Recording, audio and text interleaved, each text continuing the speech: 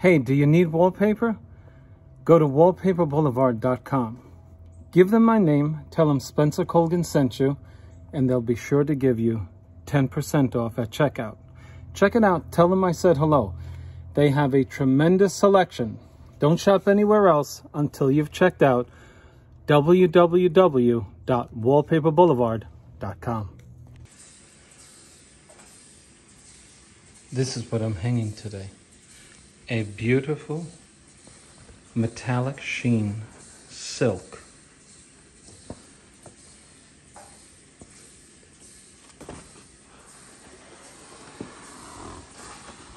This has been rolled up for one year. Waiting to be installed. Isn't it gorgeous? Look at this. Anyway, what's your first impression? You don't want to hang this on a bumpy wall, right? So when we go to the wall, we have work to do. If you hang that beautiful product on this, you're going to see this through the product.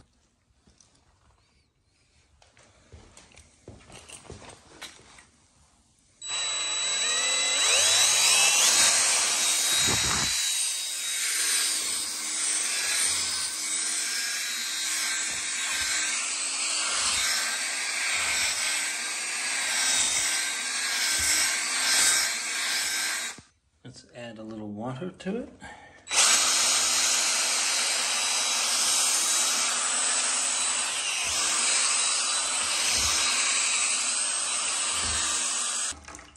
I'll be applying the skim coat with a roller.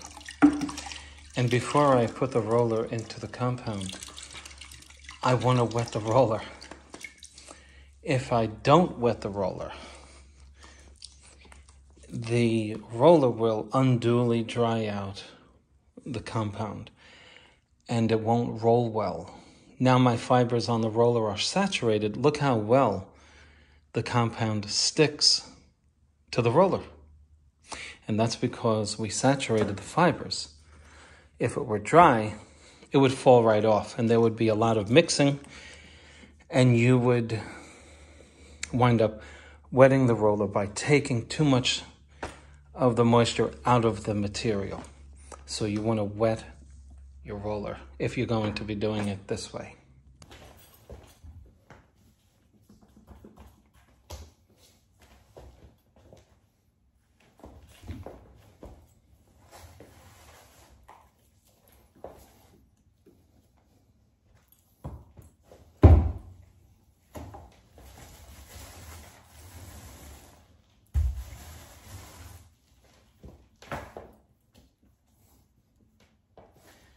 See, it really doesn't fall off of the roller. Test your mixture. If it's too loose, you'll have a mess. If it's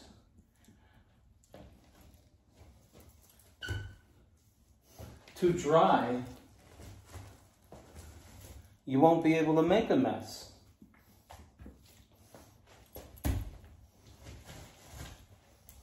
Somewhere in between.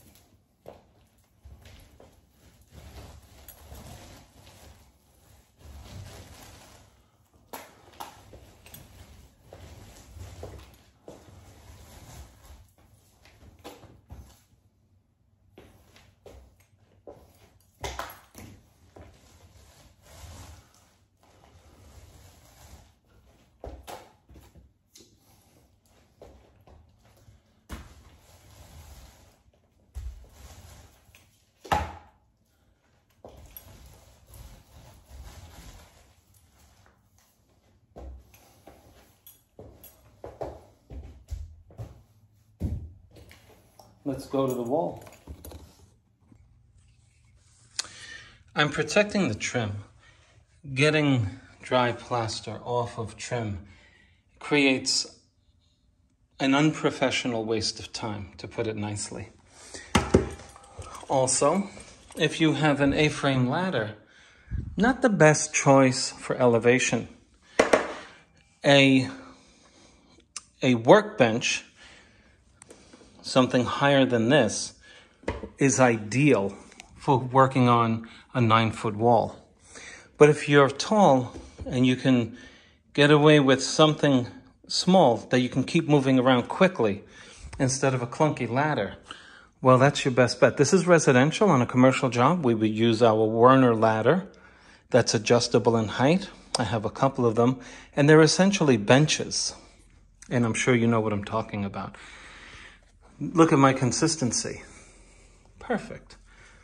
Now let's identify the tools we need to do this quickly.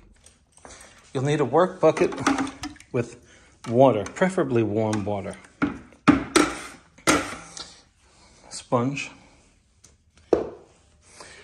A skim knife, okay? I recently purchased the level 5 skim coating blades. And I they come in a package that looks like a shotgun uh, something that would house a shotgun.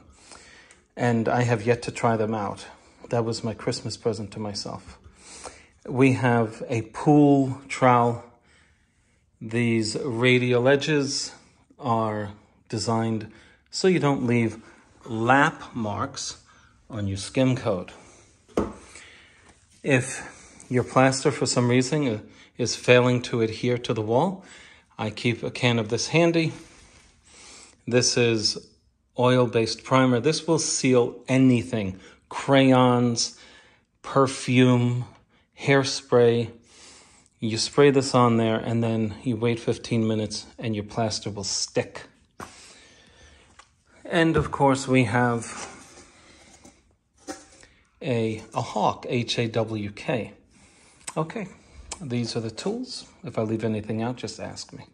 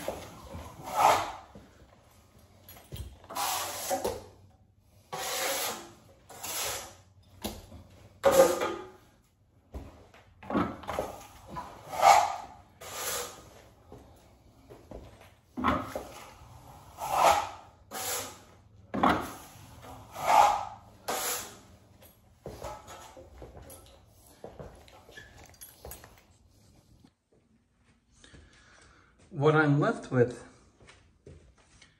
is a nearly completed, barely needed to be sanded surface over which I can hang my wall covering. But it's been five or six minutes since I applied this. And the color of it tells me that the environmental air needs to be, the it's too moist. And so we need ventilation so that we don't make this a two-day project. Let's go over this technique. Number one, how wet should the compound be? Wetness makes the application easier. The easier it is on your muscles to move this around, the better off you'll be long term, able to recover and do the same thing in a day or two. The thickness with which the material is rolled on is essential. And I'm going to show you what's ideal, both in moisture and depth or millage. So the degree to which this thickness is after rolling it on is a very important factor. I'm going to take my finger. This is the edge, and this is the center of it.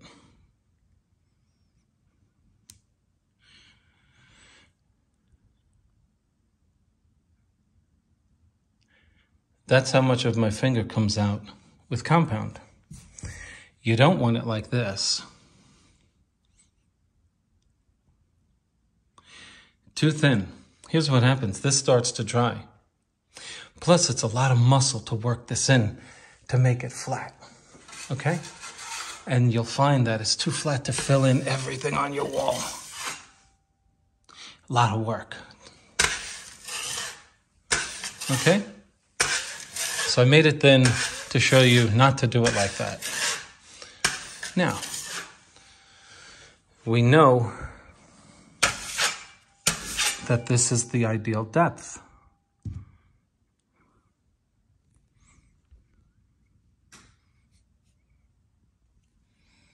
That's a good enough amount. You see? I think you got the idea. Now, the technique of rolling this stuff is easy, right? You keep this Get a spray bottle. I forgot to tell you to get a spray bottle. You want to spritz this down so this does not dry up on the edges. If it starts drying up, you're going to get rocks in here. It's going to be a nightmare. Holding your trowel. You see, this is a 14-inch trowel. It will afford you efficiency. Now look at the angle at which I'm holding it. I wish I could get this thing out of the way. Okay? I'm not holding it like this. That will take too much off. I'm holding that at a 45 degree angle. This is zero degrees. This is 90. It's about 45, give or take. 35 to 45 degrees. Let's do it.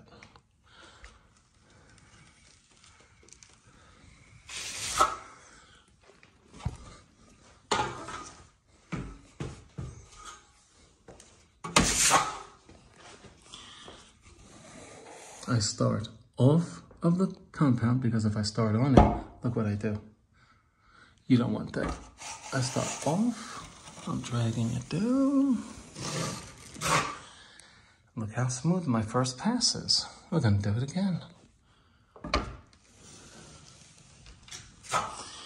And you see how we made that scrape mark there? I filled it in by changing the angle at which my trowel hits the wall. So in order to fill it in, I lowered the angle. I didn't increase the angle, I lowered the angle. That's the ideal angle right there.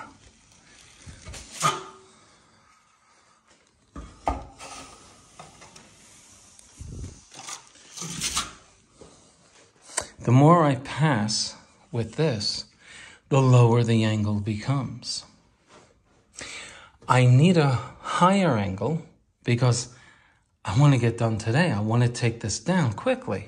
So you'll notice that on the first pass, the angle is greater. Look, because I'm pushing and I want to spread that stuff. You guys do this technique when you make a peanut butter and jelly sandwich. Okay? You change the angle at which the knife spreads the peanut butter, believe it or not. Now that I'm getting nice and flat here, I change the angle. I lower it.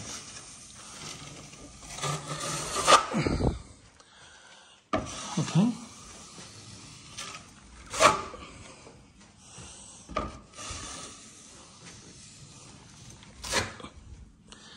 Look at the result. Who can doubt that making this nice and flat is simply a function of the right pressure, the right moisture, and the right angle. So I went ahead and did the rest of the wall because the phone calls in between. And so, but I, I showed you how to do this. This is the result. I, I'm telling you right now, if you've never used a trowel before in your life, you're already skilled on how to use it. You can do this. It looks bumpy now, but what you're really seeing is just sheen differentials. Drying, wet. The skim is very close to the surface here. And it's very flat. Okay? If you're a pro, this is uh, probably, you would agree, the best it's going to come before it's sanded. You know, like uh, it's it's, very nice. But if you're not a pro, you can achieve this level of expertise in a very short amount of time if you just follow the mechanical rules on application. If you really want to be perfect, you want to do a very good job, you will put a second coat on. You're looking at the second coat, the darker area. This is the drying first coat, and you'll see that although you can sand this out, most likely, you will, you'll render an imperfect out. See, that can be sanded out. But sometimes it's easier, especially because it's damp. When you try to sand this, you gouge it. Just filling it in again eliminates the need to sand it.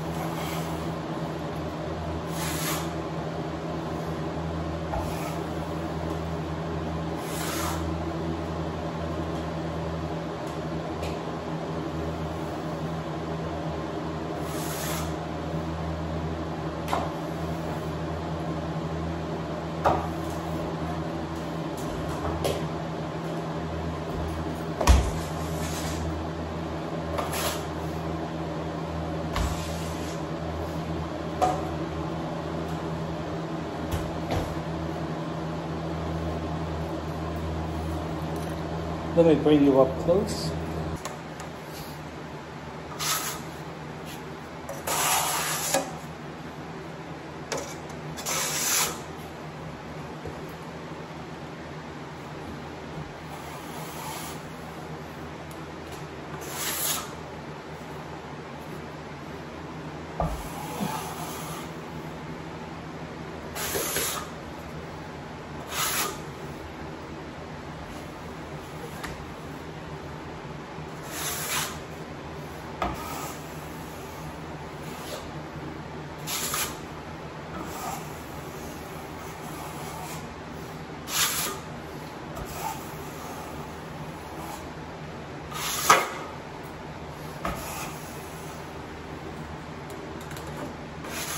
Take this excess and I move it over to another part of the wall.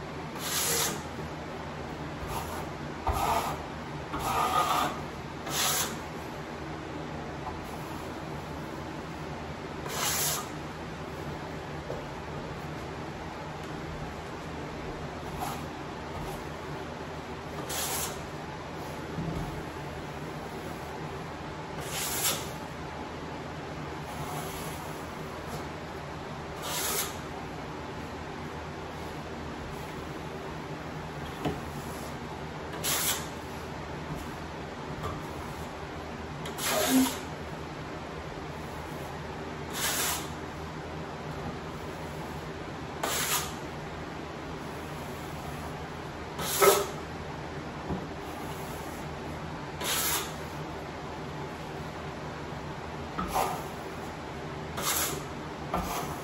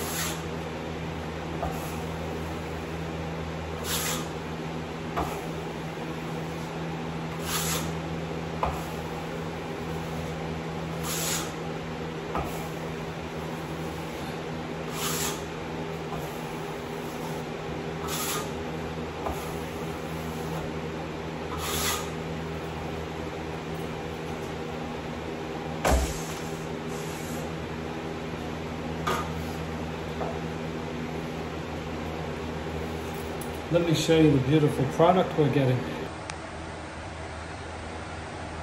If you've ever been ice skating and that machine comes out and clears the ice of the snow, this is the result. This is your finished coat. I'm not even going to sand this. I'm going to wait till it dries and just drag my knife against it to knock off that there's no need to, you'll make it rough if you sand it. This is so smooth, it doesn't need sanding. Trust me when I tell you. Now, when you get to the end, you see your perimeter, your pool trowel can't negotiate into that corner very well. Although I didn't do a bad job. So you take your taping knife, and you just go in there and fill in anything left on the last segment, I told you that I would not be sanding this. And I'm not going to. And the reason is because I'm going to hang it. and hang the wall covering. And if I sand it, I'll scratch it. And so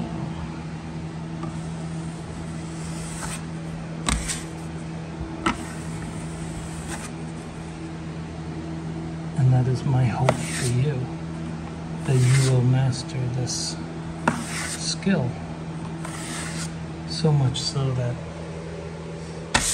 when you consider sanding it, you say, you know what, I might scuff it up.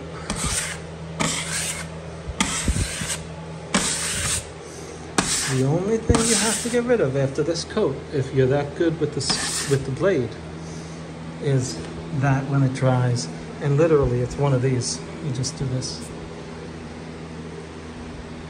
Because any tools might very well scratch this beautifully smooth surface. I really wish you could see it in person because the, the video doesn't do it justice. This is perfectly smooth. All you're seeing is color differences between here and there. But please Please trust me, it's perfectly smooth. So the wall is finished prepping regarding making it nice and flat. And it is absolutely beautiful. Of course, I folded over my 4x12 drop cloth because it has received lots of drippings, right?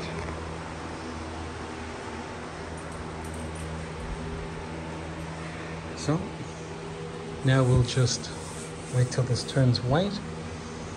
I will prime this with a penetrating sealer and hang our product.